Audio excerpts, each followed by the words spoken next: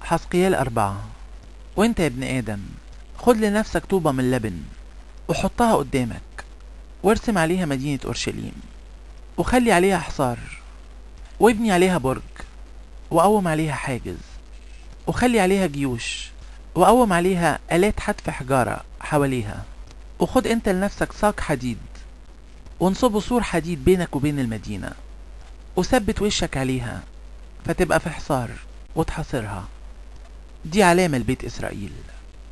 وارقد أنت على جنبك الشمال وحط عليه خطية بيت إسرائيل على عدد الأيام اللي فيها ترقد عليه تشيل الخطية بتاعتهم. وأنا خليت لك سنين خطيتهم حسب عدد الأيام. 390 يوم. فتشيل خطية بيت إسرائيل وتكمل دي وترقد على جنبك اليمين كمان.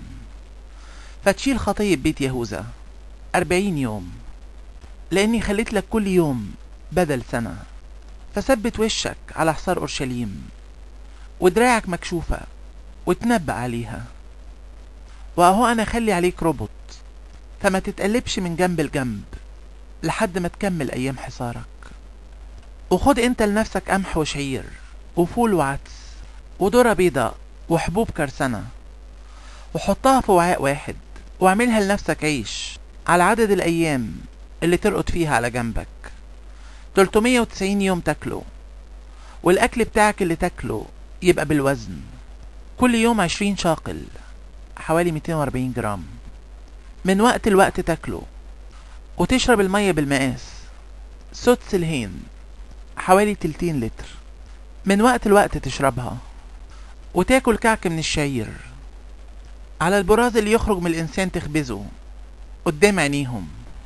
وقال الرب كده ياكل ولاد إسرائيل.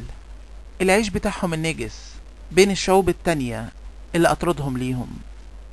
فقلت آه يا سيد الرب أهي نفسي ما تنجستش ومن صبايا لحد دلوقتي ما أكلتش حاجة ميتة أو فريسة وما دخلتش بقي لحمة نكسة.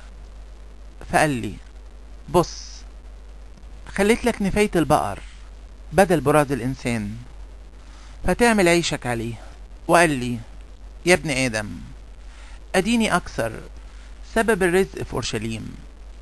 فيأكلوا العيش بالوزن وبالغم ويشربوا المية بالمقاس وبالحيرة عشان يحتاجوا العيش والمية ويتحيروا الراجل وأخوه ويفنوا بالخطية بتاعتهم.